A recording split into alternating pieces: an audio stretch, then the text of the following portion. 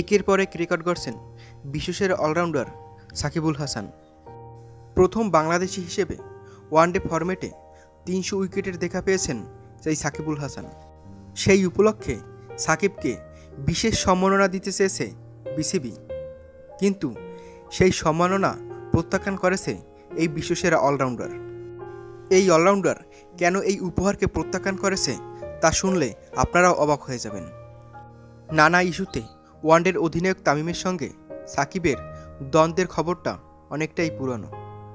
জানা গেছে, ইংল্যান্ড সিরিজের আগে বিষয়টি সামনে আনায় বোর্ড কর্মকর্তাদের ওপর নাকচ করেছে সাকিব। ধারণা করা হচ্ছে, এর কারণেই পুরস্কার প্রত্যাখ্যান করেছেন সাকিব।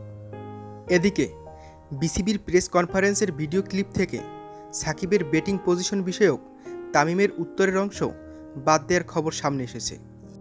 ওয়ানডেতে কোন পজিশনে ব্যাটিং করবেন সাকিব, সেই বিষয়টি ইংল্যান্ড বিপক্ষের ওয়ানডে সিরিজের শেষে স্পষ্ট করেছেন তামিম ইকবাল।